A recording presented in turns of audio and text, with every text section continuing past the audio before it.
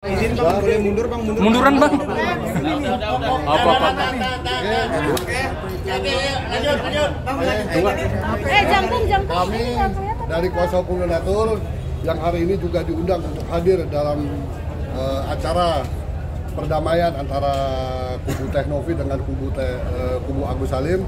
Ternyata memang tadi dialognya itu sudah eh, deadlock sebetulnya. Tapi karena moderator menginginkan eh, forum ini adalah forum perdamaian, maka eh, terkesan terlalu dipaksakan karena dari pihak eh, sebelah sana menginginkan proses perdamaian ini serahkan aja uangnya tanpa tanpa penyelesaian laporan-laporan yang, yang sudah ada.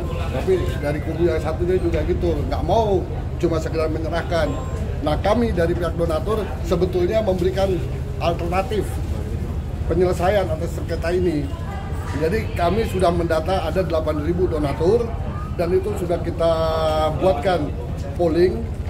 Ya nanti tinggal kita sebar pollingnya ini ya udah berjalan.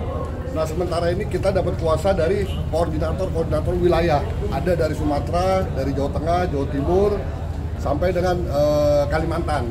Nah karena donatur ini terdiri dari WNA dan WNI.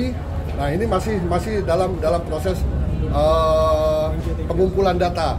Dan mereka sudah dibuatkan data eh, puasa elektronik dan secara sekaligus eh, memberikan tiga pilihan. Yang pertama pilihannya adalah apakah setuju dana ini dikembalikan kepada Gus. Yang kedua adalah apakah dana ini tetap dikelola oleh yayasan dan dapat digunakan oleh yayasan untuk uh, pengobatan Agus dan korban-korban yang lainnya. Yang ketiga adalah dana ini dikembalikan kepada donatur. Nah nanti dari hasil polling ini kita akan buat satu gugatan ke pengadilan negeri agar dana ini kita serahkan kepada majelis hakim dan nanti majelis hakim inilah yang akan memutus apakah dana ini tetap diberikan kepada Agus atau kepada yayasan atau dikembalikan kepada donatur. Ini kita lakukan karena memang ada kekosongan hukum atas eh, bagaimana sih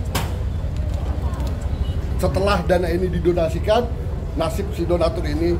Kami semuanya di sini mau penggunaan dari dana ini untuk pengobatan Agus. Tapi karena ini diselewengkan makanya ini jadi banyak eh, perdebatan. Dan perdebatan ini belum ada aturan yang mengatur tentang hal ini. Masalah eh, Tenopi dilaporkan secara pidana itu pun debatable apakah ini bisa dikatakan apa namanya perampasan atau bukan nah jadi ini solusi yang kita tawarkan nah ini boleh teman-teman share sekalian Pollingnya dimulai per kapan? udah udah per per hari ini tadi pagi sudah di sudah Tahan pak. disampaikan Tahan pak, tahan pak. Diakses di mana bang maaf? Aja bang.